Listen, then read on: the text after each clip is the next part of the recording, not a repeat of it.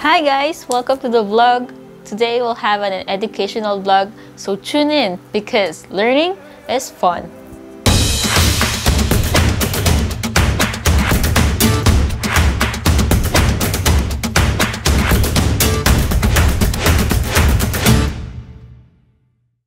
Do you like traveling?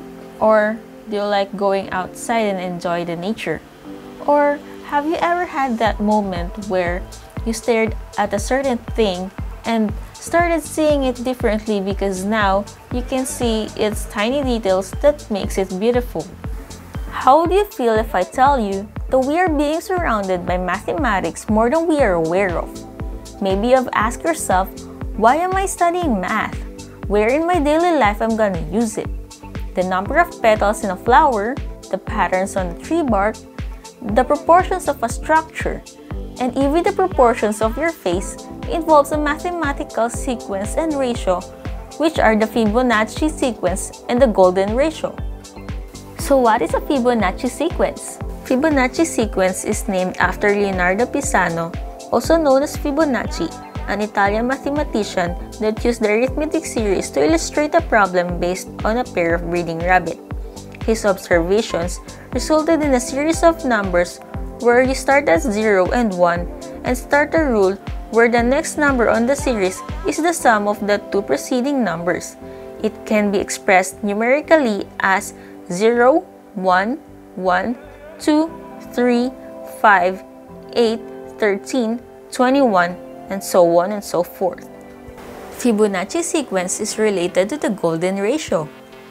The golden ratio or divine proportion has a value of 1 plus square root of phi all over 2 or approximately 1.618 and is represented by the Greek letter 5. We can find the golden ratio if we divide a line into two segments with different lengths such that the longer segment divided by the shorter segment is also equal to the whole length divided by the longer segment. It can be observed in a lot of areas such as architecture and art. Now that we know their definitions, let's now go and explore for some examples in our surroundings to appreciate this beautiful mathematical context. I bet you can never unsee it after this video. Fibonacci sequence in architecture. Did you know that when starting any architectural design, it is important to create a set of limitations to deal with what you have and what you can do with it. So, the Fibonacci sequence was utilized to make the building entirely in proportion that creates a sense of harmony that our subconscious mind is attracted to. First example is the Parthenon. It is a former temple in Athenian Acropolis, Greece and since the building is 30.8 meters wide and 61.9 meters long, which equals to the ratio 4-9 that is also found in other parts of the building. And then, the Great Pyramids of Giza. I guess you're probably familiar with pyramids since it's one of the most ancient and the best example of the use of phi because the ratio of the height of the pyramid to either of the sides of its base approximately equals to phi. And lastly, from the ancient times to the modern CN Tower, the aesthetically pleasing aspects of phi is ever present. It's a 553.3 meters high, and although modern, it contains the golden ratio in its design. The ratio of the observation deck at 342 meters to the total height of 553 meters is 0.618 which is the reciprocal of phi. And that's how the Fibonacci sequence was used in architecture. And now we're going to look if we can see Fibonacci sequence in our nature. Fibonacci sequence can be seen anywhere. We are not just aware that those things belongs or is considered in Fibonacci sequence. Just like these flowers for example. Fibonacci sequence is present in these because of their number of petals, which is 1, 2, 3, 4, and 5. And 5 is seen or is a part of Fibonacci sequence. Another example is an egg. The proportion of the egg shape are closely associated with the golden ratio.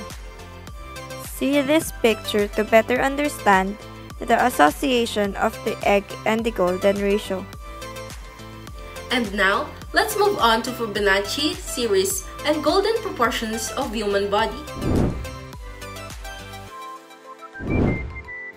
As a human being, we are all confused if numbers like Fibonacci have a significant connections in our body. The Fibonacci number and the golden mean ratio both have a significant connections to the shape, proportionality, and even to the function of some parts of the human anatomy.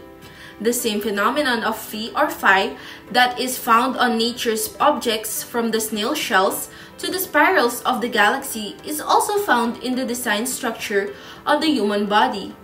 Just like the cochlea of the ear, it is a Fibonacci spiral as is the spiral of the umbilical cord. We can notice Fibonacci patterns in different ways. Firstly, on the physical anatomy of the human body, such as our hands. Why? Because as we clench our fist, Fibonacci sequence will be applied because our hand allows itself to form a perfect curl when we clench our fist and it shows the Fibonacci spiral. The next is our arms. Isn't it amazing that even our arms, we can apply the golden ratio? It is because the ratio of your forearm to your hand is 1.618 or the golden ratio. And our last example is our face. The face is based on the golden portion or golden ratio that is why from the top of the head to the bottom of your chin, it should be 16.8 inches on average. And it, that is why it is considered as the golden ratio. Isn't it amazing that even the human body or the human part of the body, we can apply the Fibonacci sequence or the golden ratio? And now, let's move on to our conclusion. After a few minutes, Shareen, Kristen, Alea, and Stephanie shared with us the wide coverage of Fibonacci and golden ratio, which can be applied in our nature, body measurements or proportion, and also in the field of architecture. In that short period of time, we were able to tackle those two mathematical topics. Amazing, right? I hope in the end of this discussion, you won't be able to forget the Fibonacci sequence Fibonacci patterns of nature in the divine proportion, which is commonly known as golden ratio, which is 1.618. I'm Cyril, and this is Group 6. Thank you for your time. Goodbye.